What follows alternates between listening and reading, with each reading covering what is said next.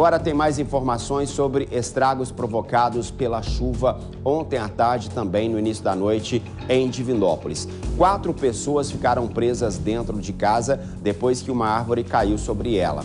É, dentre os moradores estava uma criança de apenas um ano e cinco meses. Veja aí a reportagem.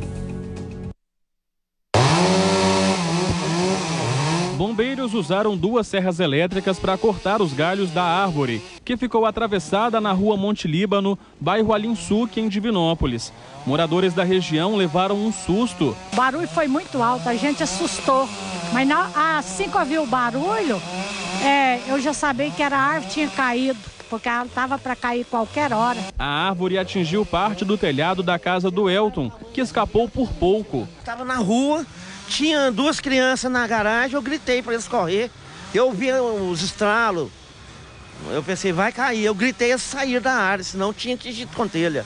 Moradores contaram que bastaram poucos minutos de chuva para a árvore cair. Foi somente a chuva mesmo, não, nem estava ventando tanto assim não. Foi mais devido à, à força da chuva. Os galhos da árvore também atingiram a rede elétrica e parte do bairro ficou sem energia. De acordo com o Corpo de Bombeiros, quatro pessoas estão na casa. A orientação dos militares é que elas permaneçam lá dentro até que todos os galhos sejam retirados. Por sorte, ninguém se feriu.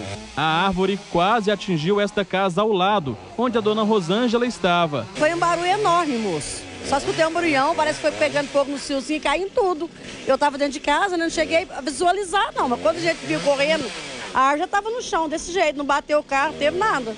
Simplesmente caiu. Moradores do bairro dizem que há tempos pedem que a prefeitura faça a poda da árvore, que, segundo eles, já ameaçava cair. Já fomos no meio ambiente há cinco meses atrás. Eles não, não deu sugestão. Nós fomos procurando eles que já estava.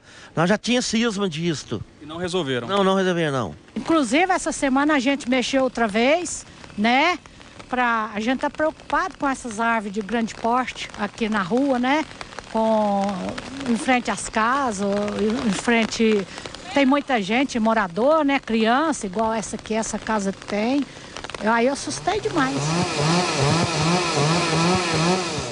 Mãe da árvore. E a gente observa que ela estava comprometida. Pelas imagens aqui já dá para ver, ficou muito clara. Os galhos aí não, os galhos estão ótimos, mas a base dela, olha aí. Toda podre. Toda podre. Não vê nem raiz nenhuma. E segundo os bombeiros, nem ventar ventou praticamente, só chuva. Agora imagina se venta mesmo. É impressionante isso. A moradora diz que a árvore foi cortada pelos bombeiros, a energia elétrica ainda não foi religada. De acordo com a CEMIG, o serviço lá vai voltar ao normal até às 5 horas da tarde. Até às 5 horas da tarde, de acordo com a CEMIG, será feita a religação. A Defesa Civil também vai lá na casa para avaliar a situação do imóvel e fazer a limpeza do local. E a pergunta que nós fizemos para a prefeitura e que não foi respondida é por que não foram lá cortar a árvore. Essa não foi respondida. E aí poderia ter acontecido uma tragédia. E a gente fala sempre aqui sobre prevenção.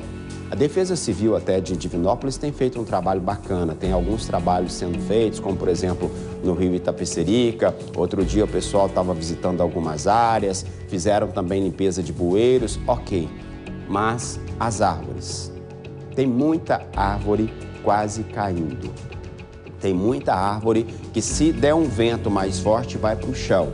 E se essa árvore cai, olha aqui, essa imagem aí diz tudo. Completamente comprometida, não aguenta, olha o tamanho da árvore. E segundo a moradora, há cinco meses eles falaram isso. Essa semana, novamente. E a resposta? Vamos esperar um pouquinho, quem sabe a prefeitura ainda vai responder por que, que o problema não foi resolvido antes. Esperou acontecer. Depois que acontece a tragédia, aí não adianta. Ah, mas que não sei o quê, que não sei o quê, que não sei o quê, não tem equipe, que não sei o quê, que é difícil.